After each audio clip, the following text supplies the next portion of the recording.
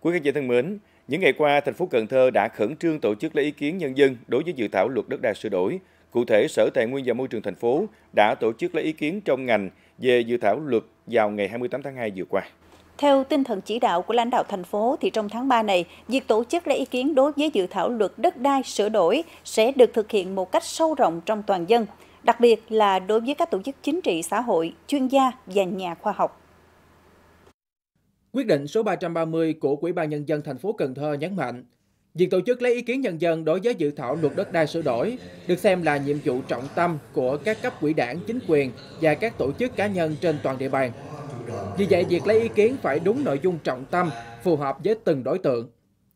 Luật đất đai là một trong những cái luật mà nó liên quan mật thiết với cái, cái cuộc sống đời sống của người dân và rất cũng rất quan trọng đối với cơ quan nhà nước về vấn đề đó là thực hiện cái quản lý đất đai đây là một cái luật mà được rất nhiều đó là người dân quan tâm Đấy, thì tôi cho là lần này thì sẽ ừ, tiếp nhận được nhiều ý kiến đóng góp của nhân dân trong thành phố Cần Thơ. Trên tinh thần nghị quyết của Ủy ban Thường vụ Quốc hội và Chính phủ, công tác tổ chức lấy ý kiến đối với dự thảo luật đất đai trên địa bàn thành phố đang nhận được sự phối hợp triển khai một cách chặt chẽ. Theo đó, yêu cầu đặt ra là tiến độ phải nhanh, phát huy được quyền làm chủ, trí tuệ, tâm quyết của người dân.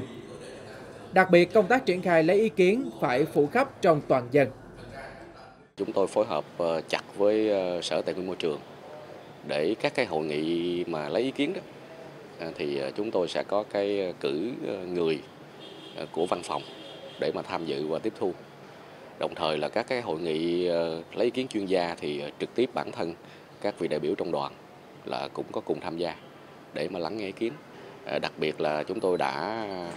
có cái phối hợp với khoa luật của trường Đại học Cần Thơ. Thì chính thầy cô ở trong cái ờ, chuyên ngành luật sẽ cùng với đoàn đại biểu Quốc hội để mà góp ý từng cái vấn đề cụ thể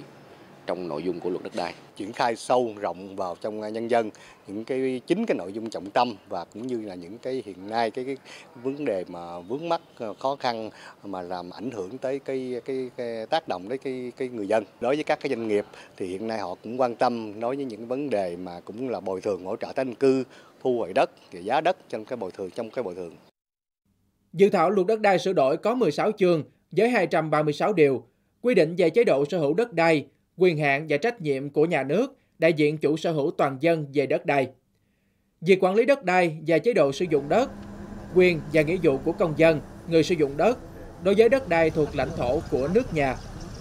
Thời gian lấy ý kiến nhân dân thành phố về dự thảo luật đất đai sửa đổi bắt đầu từ ngày 3 tháng 1 năm 2023 và kết thúc vào ngày 15 tháng 3 năm 2023.